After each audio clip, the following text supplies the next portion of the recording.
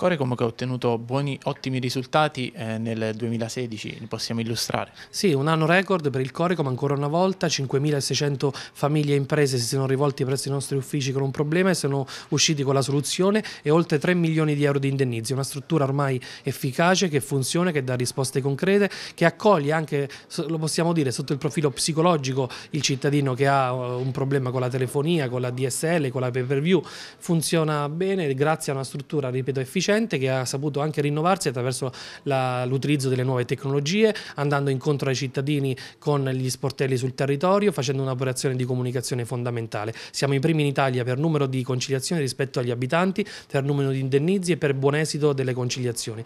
Eh, penso che sia un orgoglio per l'Abruzzo e per la pubblica amministrazione che può funzionare se ci si lavora con serietà e passione. Vogliamo ricordare come fare per rivolgersi al Corecom? L'istanza è tutta online www.corecomabruzzo.it, la procedura è snella, è facile, è semplice e anche veloce e quindi attraverso un modello prestampato ci si può rivolgere. Poi si può fare in audioconferenza, in videoconferenza o si può vedere nei nostri uffici che sono all'Aquila ovviamente quelle principali, a Pescara, a Teramo e presto anche in altre sedi.